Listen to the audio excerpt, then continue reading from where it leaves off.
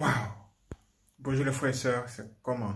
Je m'appelle Nignon Bonne et aujourd'hui, Dieu a un vrai message pour nous. Ha Mes frères et sœurs, j'espère que vous allez bien et que votre famille se porte à merveille. Merci pour tout votre soutien. Ce que j'aimerais vous dire aujourd'hui, c'est de ne jamais manger avec un sorcier. Ne mangez pas avec les sorciers. Ne mangez pas dans la même assiette. Parce que si vous mangez dans la même assiette et que vous n'êtes pas bien assis spirituellement, vous risquez de consommer les conséquences de votre acte. Ça veut donc dire qu'il y a des effets lorsqu'on mange la nourriture des sorciers. Mais comment savoir si cette nourriture appartient aux sorciers, le truc est simple. Si c'est un sorcier ou une sorcière qui a préparé cette nourriture et qu'elle a envoûté, automatiquement, cette nourriture sera appelée la nourriture des sorciers. Maintenant, vous, vous pouvez venir les trouver en train de faire une grande fête. Et ils peuvent même vous inviter à cette fête-là. Et quand vous allez arriver là, vous, vous allez vous dire que, oh, la nourriture sent bon, il y a de la bonne nourriture. Joe, asseyons-nous et puis on va. Tu vois ce que je peux te dire? Effectivement, tu peux t'asseoir. Tu peux t'asseoir et même manger cette nourriture-là. Mais le problème, c'est que ça aura de graves conséquences sur ton âme ou bien sur ton esprit. De toute façon, tu vois, ça va, ça va, tu vas le ressentir dans ton corps. Oui, tu vas le ressentir. Eux, peuvent être là en train de manger avec toi. Eux, ils savent ce qu'ils sont en train de manger. Mais toi, tu ne sais pas. Parce que quand tu regardes la nourriture, tu vois ça juste comme de la bonne nourriture. De la nourriture, oh, extraordinaire, ça sent bon. Mais, dans le monde des esprits, là, ça peut être la chair humaine. Ça peut être tout et n'importe quoi. Comme euh, le fœtus. Vous voyez? Euh, Comme quoi encore la même. Tout ce qui est en relation avec les choses qu'ils utilisent pour pouvoir envoûter la nourriture. Surtout au marché, quand on, sort, on achète la viande, on achète, on dit on va acheter du poulet. D'après les témoignages qu'on a reçus, on nous dit que souvent, la plupart des viandes qu'on nous vend sur le marché, ce sont, des, ce sont de, la, de, chair, de la chair humaine. C'est-à-dire que quelqu'un a été tué dans le monde des sorciers, ils ont transformé la personne en poulet et les gens sont de cela sur le marché pour pouvoir envoûter les gens et les faire baisser dans la vie de prière. C'est-à-dire diminuer leur force dans la vie de prière. Ça veut dire quoi? Ça veut dire que, comme effet que tu peux voir, c'est que quand tu vas consommer cette nourriture-là, même si tu es un grand pasteur, tu vas remarquer que ta, ta force dans la prière a diminué. Tu vas remarquer que ta force dans la prière a diminué. À un moment donné, quand tu finis de manger cette nourriture, tu deviens lourd comme ça. Tu deviens très lourd. Ça, sont les effets. Dites, comment, comment on sent qu'on a mangé une mauvaise nourriture, une nourriture envoûtée là. C'est ça. Tu deviens lourd. Tu, souvent même là, tu as mangé cette nourriture, tu as du mal à digérer. Tu n'arrives pas à rocker. La nourriture est bloquée là. Juste au niveau de ta gauche. Ah! Alors que tu n'étais pas sûr à manger la nourriture. Vous étiez peut-être deux ou trois tout ce qu'on mangeait était bien. Mais pourquoi toi tu te sens mal?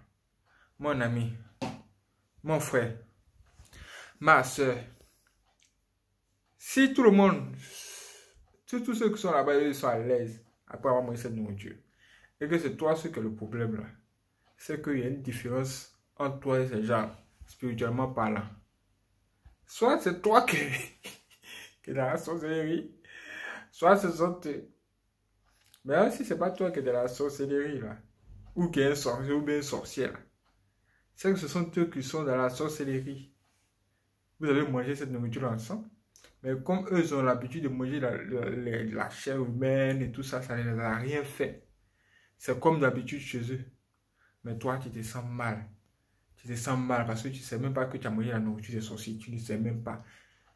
La plupart des gens ici ne savent pas qu'ils ont déjà mangé la nourriture des sorciers hein, ou la nourriture envoûtée, les choses comme la chair humaine. Vraiment, sans Dieu, nous ne sommes rien dans ce monde. Parce que les sorciers sont plus nombreux que nous. Oui, les sorciers sont plus nombreux que les chrétiens. Oui. Et les satanistes font beaucoup de mauvaises choses dans ce sens. Pour pouvoir envoûter les gens par la nourriture. C'est pourquoi. Avant de manger une quelconque nourriture, prenez le temps de pouvoir prier sur la nourriture. Et vous pouvez consommer la nourriture. Pourquoi? C'est tout simplement parce que quand vous allez vous mettre invoquer le sang de Jésus-Christ sur la nourriture, Dieu va purifier automatiquement cette nourriture. Même s'il y a de mauvaises choses à l'intérieur, ça ne pourra rien vous faire de grave. Au pire des cas, vous risquez d'avoir de la diarrhée. C'est-à-dire, Dieu va vous montrer que la nourriture que vous avez mangée là, il y a un vrai problème dedans. Pourquoi vous pensez que les gens ont la diarrhée après, après qu'ils aient mangé la nourriture? Pourquoi vous pensez que c'est comme ça? Pourquoi pensez que Dieu a, pourquoi, pourquoi pensez-vous que Dieu a, pourquoi pensez-vous que, euh, comment on va dire ça, comment pensez-vous que Dieu a créé euh, ce système d'évacuation là, là, là, quand tu manges une nourriture, tu as du mal à digérer, la, une mauvaise digestion, tout ça. Comment, comment pensez que toutes ces choses-là existent? Est-ce que pensez que ces choses-là existent au hasard? Ces choses-là n'existent pas au hasard. Si ces choses-là existent c'est parce qu'il y a des gens animés de mauvaises intentions qui cherche à faire du mal aux enfants de Dieu par la voie de la nourriture.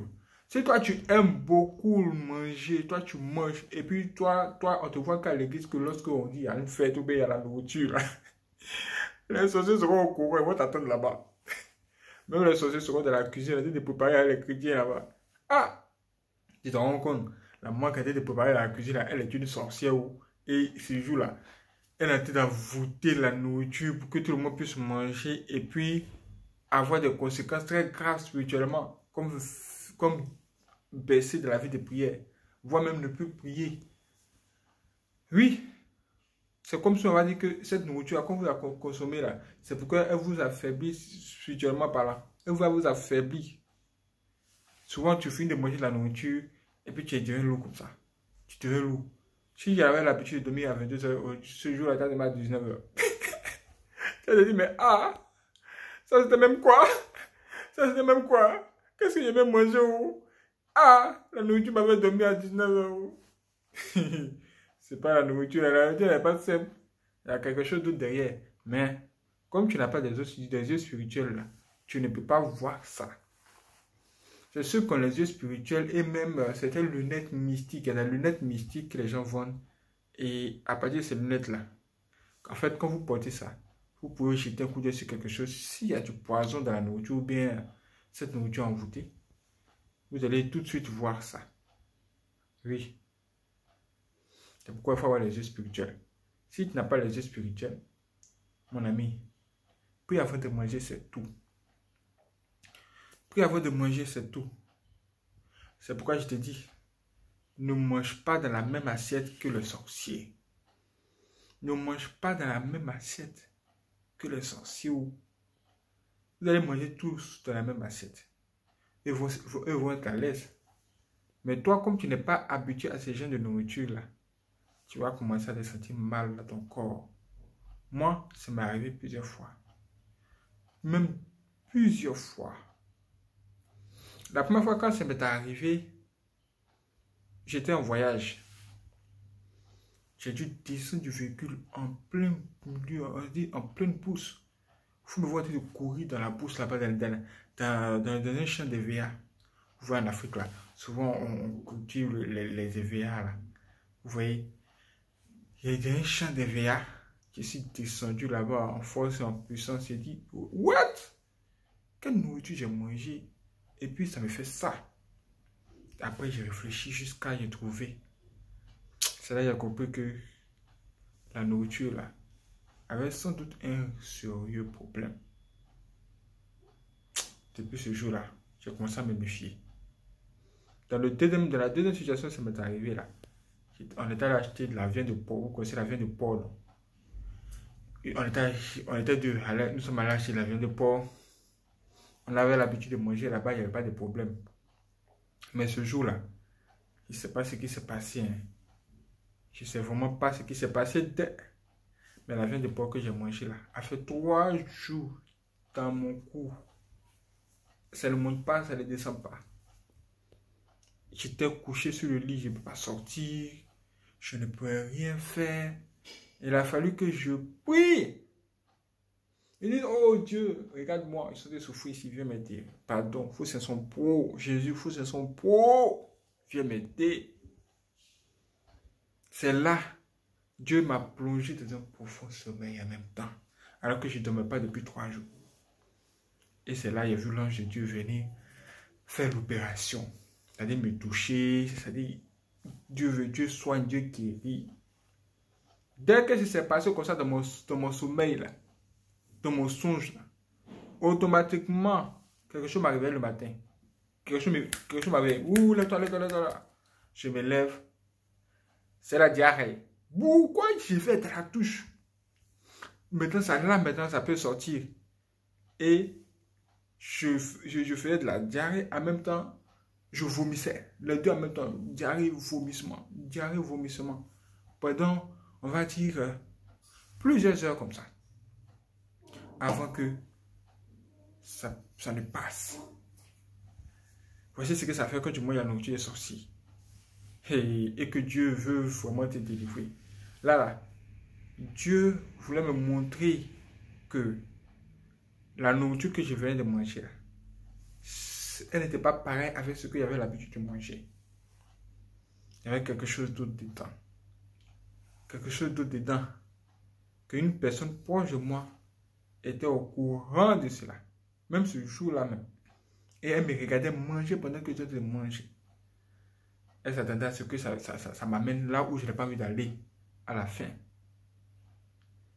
Mais Dieu était fort. Ouais. Dieu était fort. Merci Seigneur Jésus. Tu es dur. oui. Si vous, ça vous arrive et que vous constatez de telles choses, premier élément, priez, dites merci à Dieu parce que vous avez délivré. Deuxième élément, allez acheter du bonnet rouge, avec du lait à la boutique bonnet rouge. Buvez tout, toute la boîte. Si ça vous fait aller aux toilettes, aller aux toilettes, aller dégager tout ça. Buvez beaucoup d'eau, même un bidon d'eau. Buvez l'eau là même au maxi. Et puis, marchez un peu, tournez un peu, respirez, inspirez, respirez, inspirez. Essayez de retrouver vos, vos esprits. Priez, dites-moi, Seigneur Jésus-Christ, donne-moi ta force, donne-moi ta force, guéris-moi. Seigneur Jésus-Christ, guéris-moi, guéris-moi. Parlez comme ça seulement que ce soit dans votre cœur ou bien. Souvent, quand ça vous arrive, vous n'avez même pas la force pour pouvoir ouvrir la bouche. Mais doucement, doucement, doucement, faites comme ça. Dieu va vraiment beaucoup vous aider. Parce que dans ce monde, naturellement, ce qui se passe, c'est que quand vous allez sur les grands marchés, les supermarchés, la viande qu'on vend, aïe, aïe, aïe. Si Dieu vous ouvre les yeux pour pouvoir bien voir ce qu'il y a là-bas, je vous assure, hein, vous allez même fuir le supermarché, là. Vous allez, vous allez même fuir. Mais n'ayez pas peur. Si la main de Dieu est sur vous, il suffit seulement que vous touchez le plat et Dieu fait le miracle. Si c'était la chair humaine, tu vas transformer cela en une bonne nourriture. Oui. Ça ne vous fera rien. Oui. Avant que toutes ces choses que je viens de vous citer là m'arrivent, dans le passé, j'avais assisté à un truc comme ça. J'étais, euh, j'habitais dans un quartier où là-bas, il y a beaucoup de sorciers. Et tout le monde au courant. Comment ça se passe? En fait, quand vous arrivez dans le quartier là, tout le monde vient vous voir maintenant pour vous dire, écoutez, là vous venez d'arriver ici là, ici il y a beaucoup de sorciers. Hein. Donc faites attention. On va vous dire en même temps. Et moi, c'est dans un tel quartier que moi je suis arrivé. Dès que je suis arrivé là, là, j'ai commencé à me méfier en même temps. même si c'est vous. Me méfier en même temps. On dit, ah, il y a trop de sorciers. Hein. Donc, où sont les sorciers là maintenant? Je les cherche à gauche, je les cherche à droite. Alors que les sorciers là se trouvaient même dans ma bouche. Ah Un jour, il y a une fille de la cour qui vendait de la nourriture. Et ce jour-là, elle avait vendu, ce n'est pas trop marché là, donc on a envoyé le reste. Il fallait qu'elle partage un peu aux gens qui sont dans la cour pour que bon, ça ne reste pas. Mais dès la partie la nourriture aux gens, nous nous sommes en train de manger. Et pendant que nous sommes en train de manger, elle s'arrête et puis elle nous regarde. Elle nous regarde comme ça. Comme si elle s'attendait à ce qu'on prenne la viande là pour la mettre dans, dans notre bouche. Et elle veut s'assurer que la viande est bien entrée dans notre bouche. C'est ce qu'elle ce qu'elle était de faire. Dès que ça se passait comme ça, moi je regardais là devant, hein, mais un coup, ma tête, mes yeux sont. ma tête a tourné comme ça, mes yeux sont tombés sur elle. Juste automatiquement, il ne sait pas qu'est-ce qui s'est passé. Il y a une voix qui m'a dit que c'est la une sorcière. Elle veut vous initier dans la sorcellerie. C'est pourquoi vous avez la nourriture à gogo ici. Il dit quoi? Il dit quoi? Il a regardé encore. Il a regardé la nourriture. Il a regardé encore. J'ai regardé la nourriture. J'ai bien tapé le daga. Il t'a sorcellerie là. Ça ne vient pas sur moi. La nourriture, ça là, il ne peut pas laisser pour partir aujourd'hui.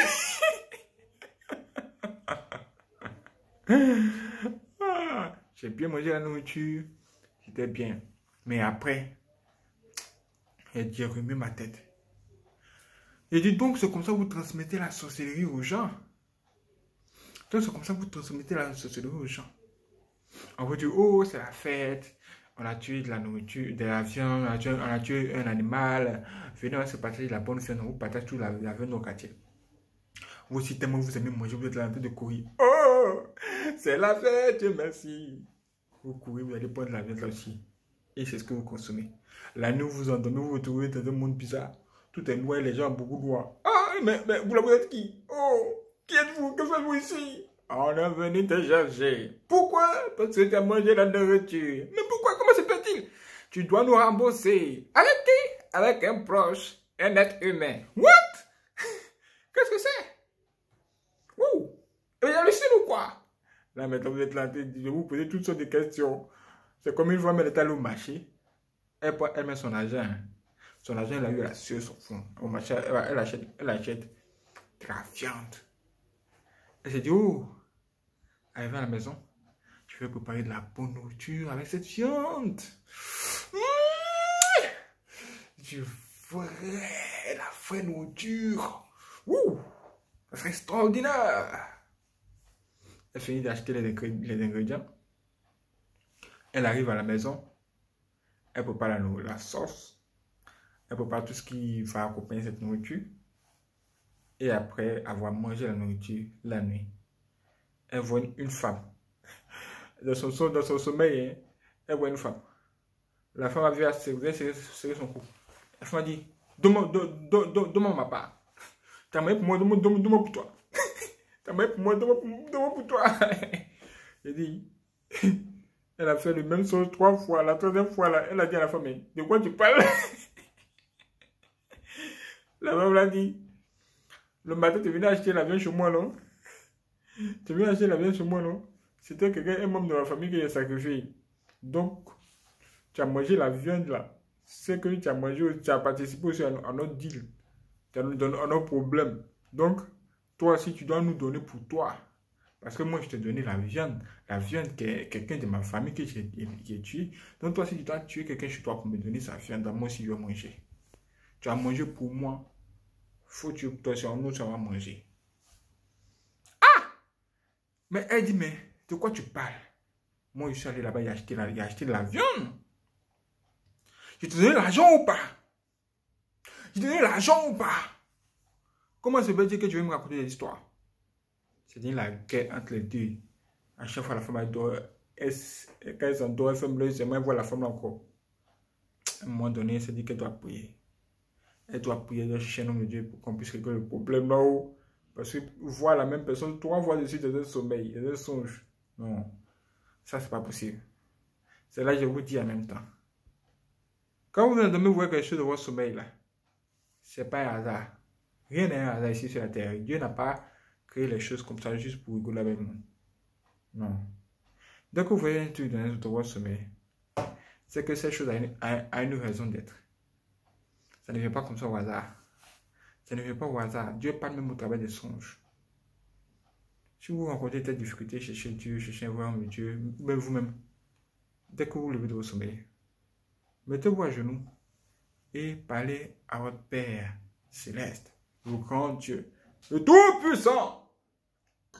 Et le Tout-Puissant va vous répondre. Mets-toi à genoux, dis Seigneur Jésus-Christ, regarde, l'ennemi est de m'accuser ou moi-même, mon propre argent, mon propre argent, j'ai pris ça là la, la viande Elle me dit que c'est quelqu'un de sa famille que j'ai acheté ou bien a la viande de quelqu'un de sa famille que j'ai acheté. Seigneur Jésus-Christ ne laisse pas cette affaire-là. Viens faire mon combat. Viens faire mon combat. Viens faire mon combat. Tu fais un petit Amen. Tu laisses ça entre les mains de Dieu. Tu vas voir que quand tu as, tu as fermé tu vas retrouver la femme là. Tu vois une distance qui a commencé à s'établir entre toi et elle. Elle va, être, elle va être du genre à distance comme ça maintenant. À distance. Et puis elle va te dire Hé, toi la viens ici. Toi la viens ici. Je t'avais dit la dernière fois de me donner ma vie, non, tu vas me donner, non?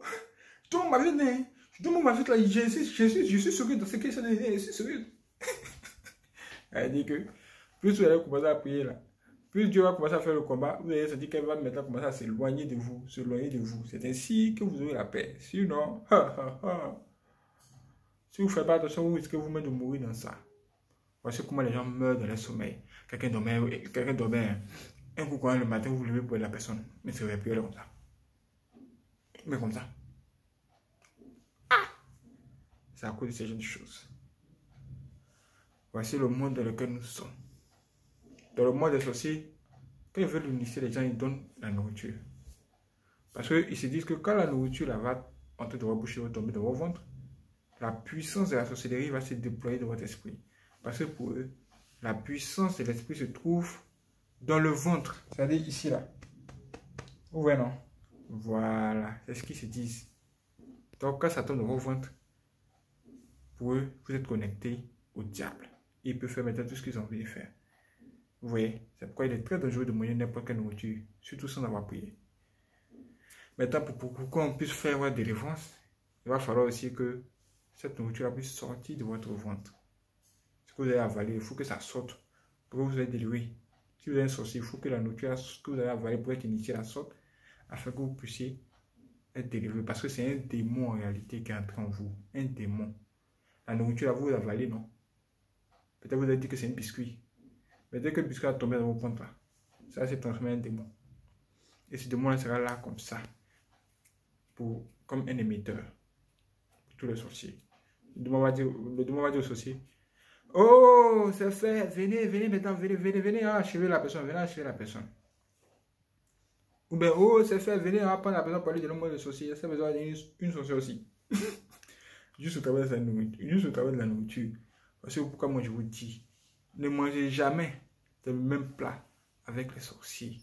Là, je vous ai dit certaines choses. J'ai beaucoup de choses encore à vous dire. Abonnez-vous et partagez cette vidéo pour que ça puisse aider vos frères et sœurs. Maintenant, si vous avez appris quelque chose, laissez tous un j'aime. N'oubliez pas, laissez tous un j'aime pour m'informer. Voilà, quand je vois beaucoup de j'aime, ça veut dire que vous avez compris et que vous voulez qu'on continue dans ce sens. Toujours, je ne vais pas vous rappeler à chaque fois, mettez j'aime, oh, partagez la vidéo, oh, mettez j'aime, oh, abonnez-vous, et non. On n'a plus de temps Tu dois toi-même te lever et faire l'œuvre de Dieu aussi. Quelqu'un prend son téléphone, venir parler des, choses de sorciers. Si cette personne n'a pas son arrêté sur le caillou, elle ne peut pas le faire. Mon ami, fais ton travail. Dieu va t'accompagner. Et fais beaucoup attention. Quand dit à fête, ne coupe pas toujours pour aller manger la nourriture chez les gens. Fais grave attention. C'est parti.